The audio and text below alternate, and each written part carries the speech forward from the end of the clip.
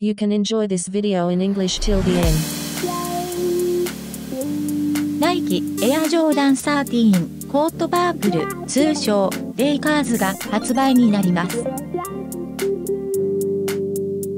1997-98年 NBA シーズンマイケル・ジョーダンがシカゴブルズ最後のプレーオフで着用したブラックキャットライズの愛称で知られているのがエアショーダン13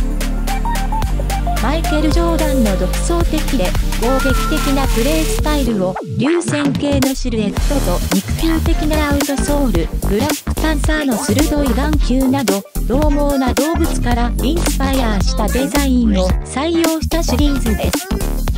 Michael Jordan was wearing in the last playoff for Chicago Bulls Air Jordan 13, nicknamed Black Cat, is his creative and aggressive play style, streamlined silhouette, paws-like outsole. The pair is a series that adopted a design inspired from ferocious animals such as Black Panther's sharp eyeball. 本作エアジョーダン13コートパープル通称レイカーズは 1991年のプレーオフで激突したライバルとの直接対決をたたえロサンゼルスレイカーズのカラーリングに彩色した一足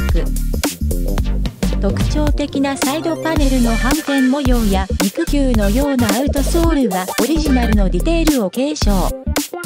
新旧のスーパースターの直接対決に世界の注目が集まる中激闘の末ブルズがシリーズを制覇。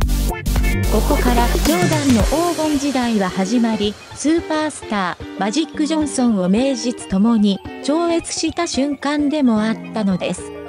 バスケットボール史に残る2大スーパースターの歴史的な直接対決を象徴するライバルチームレイカーズカラーを身にまとったエアーショーダン13のユニークかつ貴重な表現にファンの期待は嫌おなしに高まります。Fans' expectations are heightened by the unique and valuable expression of a Jordan 13 and the rival Lakers team color, which symbolizes the historical direct confrontation of the two major superstars in basketball history. スニーカーズカフェ東京では国内、海外問わず毎日リリースされる最新スニーカーの中から終作モデルのみを厳選し毎日発信未来に向けアーカイブしておりますまだの方はチャンネル登録を済ませた上でぜひ過去のアーカイブもご覧ください。どの動画も一見の価値ある高品質な作品を心がけております。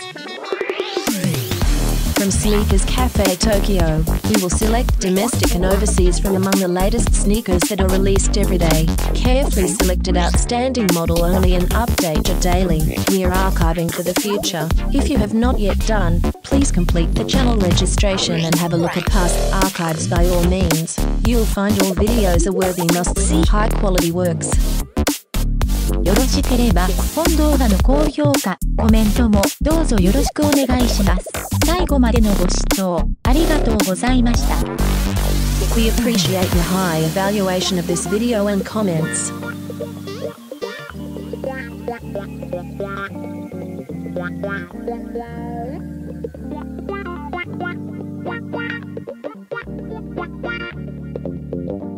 What?